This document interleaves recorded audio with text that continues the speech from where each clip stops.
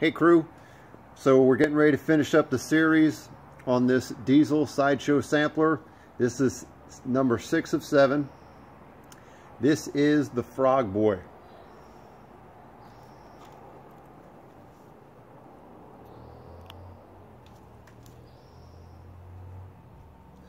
Had a really nice ash going. I just ashed it. It couldn't hold on. Held a good uh, two inch ash.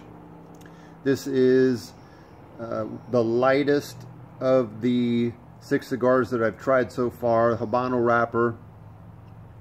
Uh, probably about a, a, Robusto, a little larger than a Robusto in size. Did uh, my classic uh, double V cut.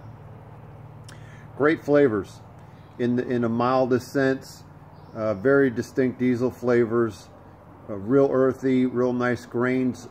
Real nice cocoa flavor. Great draw, excellent construction, as with all of them. Highly recommend giving them a try. You can find these uh, in Friday, second restock in Friday at the Cigar Cave on the corner of 7th and H in Grants Pass. This is the Frog Boy. Bing, out.